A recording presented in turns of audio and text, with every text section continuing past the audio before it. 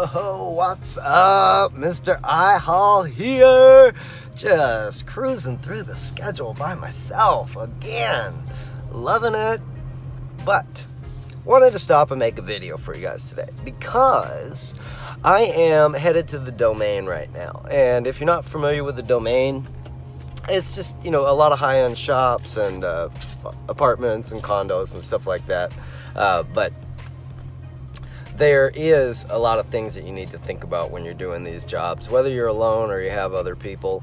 Um, and throughout the video, I kind of touch base on a lot of them. But you know, one of the one of the things, if you get anything out of the video here, is maybe just do a little research uh, if you're getting any questions before going into a job, because there are certain tools that you're going to need whether it's a floor dolly or just a regular appliance dolly or whatnot wheelbarrows. Obviously, you don't want to bring a wheelbarrow through a really nice apartment complex. So you got to make sure you have all the right tools. And when you're starting out, you might not have any, but uh, if you do enough jobs, you're going to get them all for free on the jobs that you need. Every, every, uh, everything that I used today was uh, acquired from junk jobs. So when you find a couple cones, save your cones because you're going to need them when you're parked on the side of the street. Yeah, when you find a couple shovels, save your shovels. When you find chains, save your chains. You don't need to buy any supplies to get this job done, but you do need to keep your eye out. And you need to make sure you bring the right tools to the job. Let's get going on this one. It's a pretty cool video. It's going to be short and sweet. I think it's under five minutes, so uh, it's just a little how-to on what to look for if you're going to get into some uh, some of the apartment complex jobs. First thing, that you need to do is find out if there's a concierge. And if there's a concierge, sometimes they're going to require uh, to see your insurance, you know, proof of insurance, whether it's for the automobile or for your general liability. So if you don't have either one of those, you probably shouldn't be in business, but uh, you want to keep those things handy because you're going to need it a lot. Some people just want to see a, a copy, you know, a certificate of the insurance for your general liability, and then other apartment complexes they're going to want, uh, a, you know, an endorsement from the insurance company listing the apartment complex as an additional insured. So you want to make sure you have a good relationship with your insurance agent and you can get those things quickly because sometimes some agents will take a few days and you know maybe the job needs to get done tomorrow. So keep your insurance handy. You might need it to book to get a job.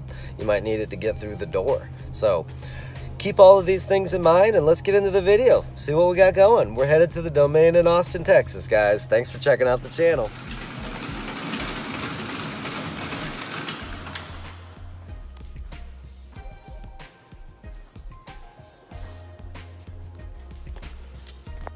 One of the things you probably don't think about when you're doing junk removal in the city. A lot of the times you're gonna have to be doing it in apartment complexes walking down long halls, up and down elevators, so that's not always dirty, but you need the right tool. And you got to budget enough time into the job because it's going to take a lot longer than something else on the curb, right?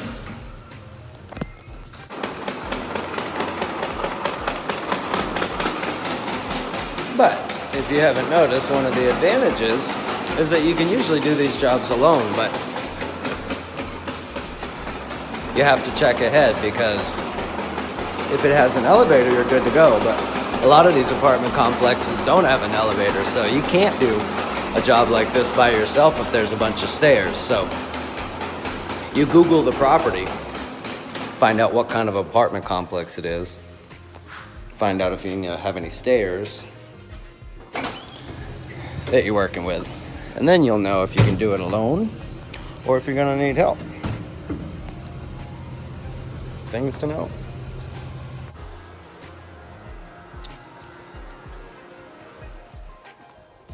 Another thing to think about at these kind of apartments, the ones that are kind of swanky, sometimes they have a concierge.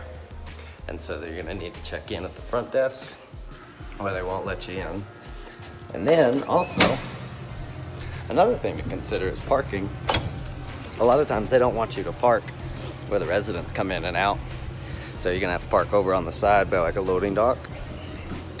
And then also, they don't want you using the same elevator a lot of the time. Usually they'll have a freight elevator And so you're gonna have to talk to either your customer or the concierge and figure out if there's special parking or uh, a certain elevator you have to use. Last but not least, don't lock yourself out. You get on the wrong side of this door. Right there. Out here.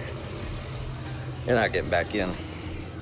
So you're either gonna have to prop the door or have someone hold it for you. So,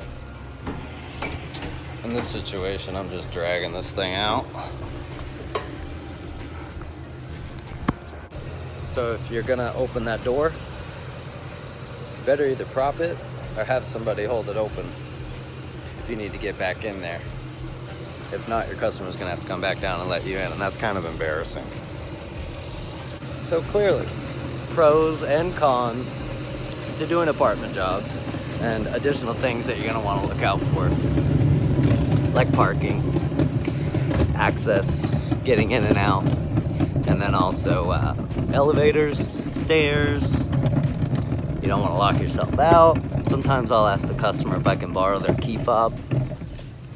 Some people are weird about that, but uh, if they think they're gonna have to come down and let you in every time, then yeah, it might make more sense. But a bunch of stuff you wanna look out for. And if you don't, you're get yourself in a pickle.